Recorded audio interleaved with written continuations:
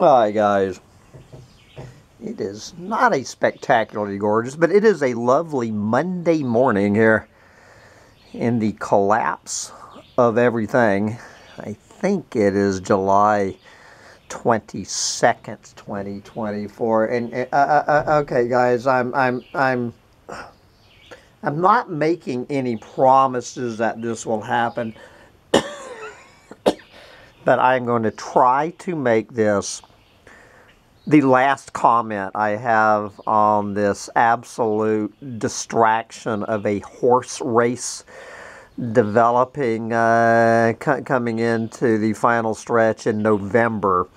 This little dog and pony show that makes zero difference to the trajectory of this planet. So, if, if, if there's anybody thinking that anything I'm getting ready to say means that I am confused about this fact, that it makes zero difference to the collapse of this planet, whether Donald Trump or Kamala Harris uh, is, is in the White House.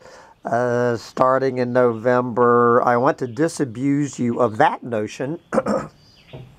and if you are suffering any delusion that having Kamala Harris in the White House is going to do anything on any level to turn this freight train around, you need to disabuse yourself of that notion. It makes no fucking difference which one of these losers, uh, these planet killing losers, are in the White House. No difference. It's frying pan or the fire.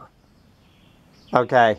So I, I, I want to fully make that amplification and clarification. I am not a clueless fucking moron, uh, believing uh, that whichever one of these jackasses uh, gets in the White House makes a damn difference.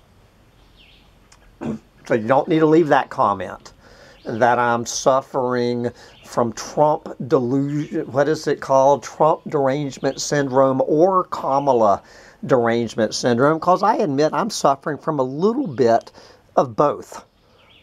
All right.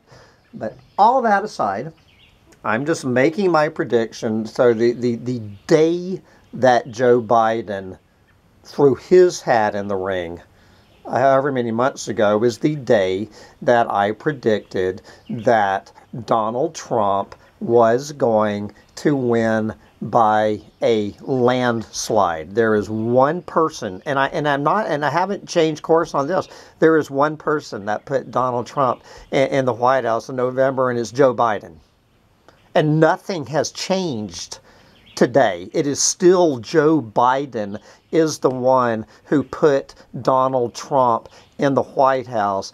Uh, that will be Joe Biden's lasting legacy. He put Donald Trump in the White House in the 2024 election. Make no mistake about this. Nothing has changed in, in, in the last 24 hours uh, my comment on, on, that I left on Yahoo News uh, was trading Joe Biden for Kamala Harris is like trading in a set of tires with 30,000 miles on them so you can put on a set of tires with 31,000 miles on them. Okay Joe Biden, Kamala Harris, frying pan or the fire. Kamala Harris, Donald Trump, frying pan or the fire. Okay? Uh, but here's my prediction that I am making on July 22nd, 2024 is that uh, Donald Trump is not only going to win the election, uh, and he's going to win by a landslide. I think a landslide is 60 40. So he will win by a landslide. And not only will Donald Trump win by a landslide it will be the biggest electoral wipeout since FDR in 1936. This will be the biggest landslide since FDR won in uh, in 1936. Uh, Donald Trump is it has a shit-eating grin from ear to ear this morning.